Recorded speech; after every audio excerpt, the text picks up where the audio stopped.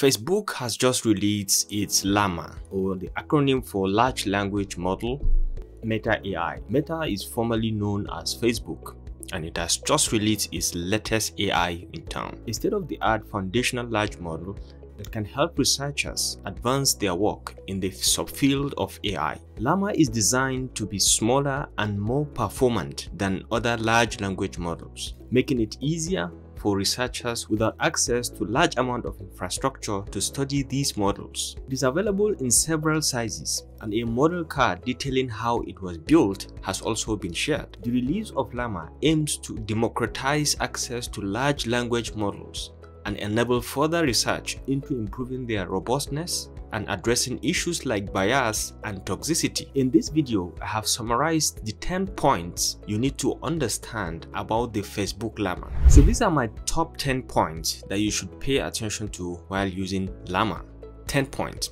Okay, the first one is Llama has just been announced in February 24th of 2023 this was the official date of announcement.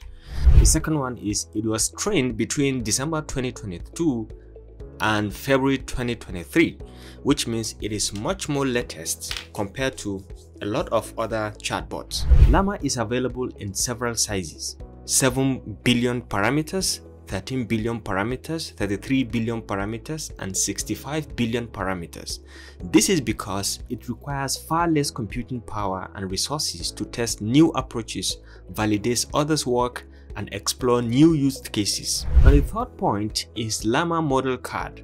Llama is sharing its Llama model card so that they can detail how they build their model in order for them to keep with their approach of responsible AI practice. So they keep integrity and show to the world how everything is being done, at least in summary. So the Llama card is there to help you with that. Number five is that Llama 65 billion and Llama 33 billion were trained on about 1.4 trillion tokens or about 1.4 trillion texts. Okay, the Llama 7 billion was trained on 1 trillion tokens. So this is just to diversify everything, not to have one AI tool that encompasses all. This is for ease and specifications of products. You can easily assign a given llama to a particular specific product and it will be trained specifically and deeply on that product. Number six is Llama trained with text from the 20 languages with the most speakers in the world. They use 20 languages to train this Llama knowledge.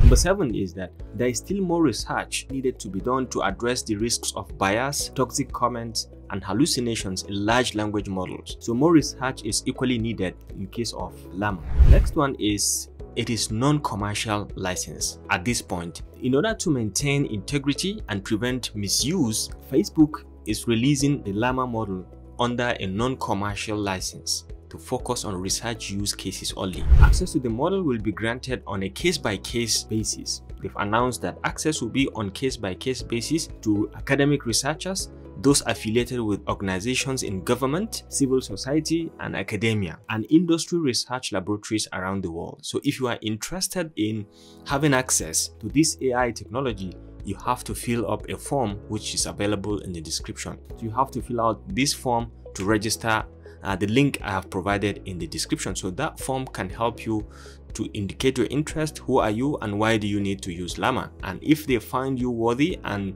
you are among the key organizations they've highlighted, they will give you access to Llama and then you start using it for your own research and development.